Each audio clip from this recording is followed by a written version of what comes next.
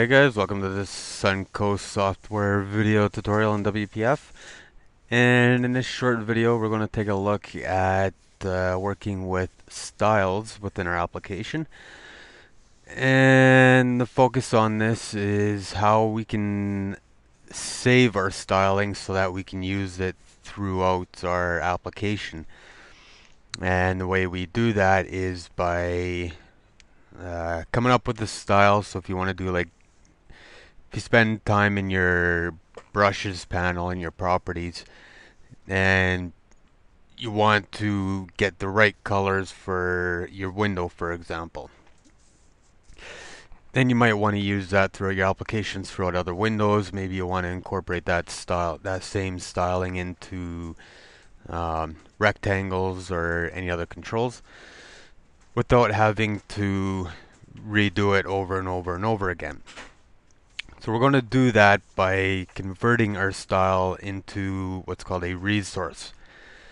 And the resource is, uh, think of it as like a container or toolbox where, you know, if we want to use a resource from our container or from our bucket, then we could just go ahead, go into that container, grab that style, and apply it.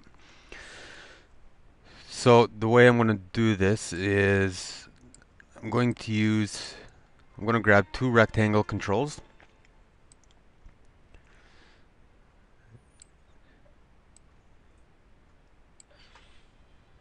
And I'll grab one more.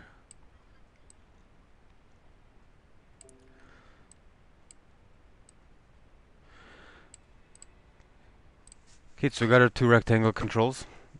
Now we're going to spend some time inside of our brushes panel here. Okay, so for our fill, that's going to be our background color.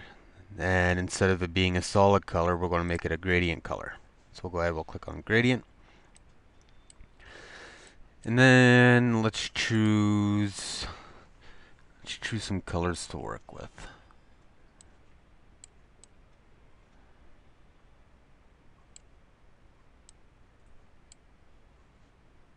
Like a light blue.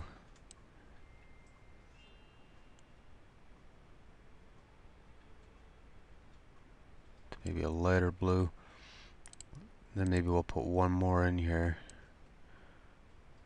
for like a cyanish color.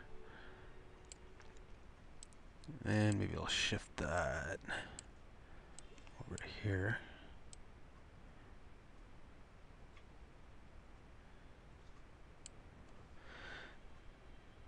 And then maybe we'll apply stroke color to it.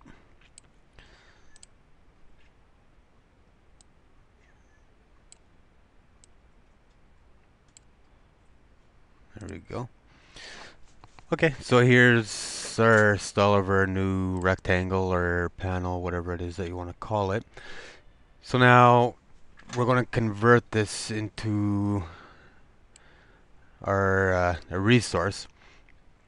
Okay, so for our fill, we're going to click on fill, and beside it, we're going to have a little, uh, little box or a little check box, whatever it is that you want to call it.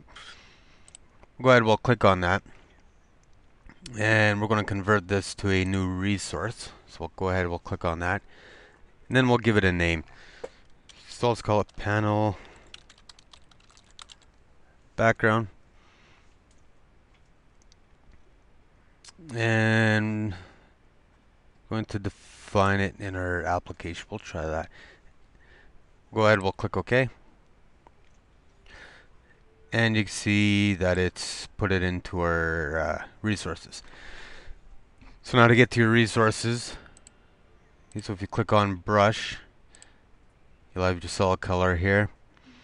If you go to the end here, click on resources, here's where you can find the resource that you just uh, just created.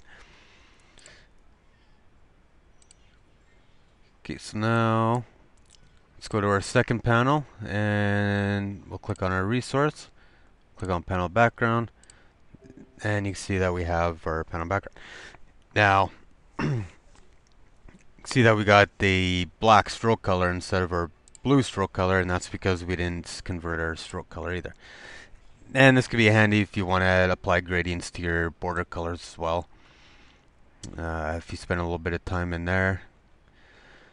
Or if you want to get the exact color, then it'd also be uh, be handy to convert as well.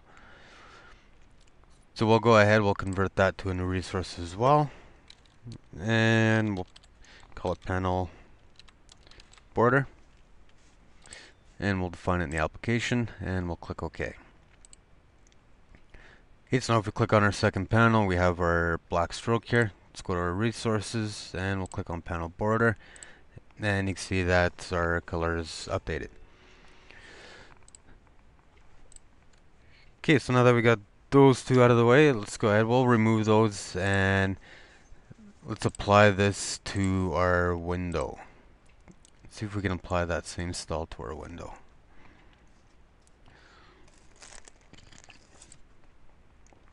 It's going to allow transparency just to get rid of that.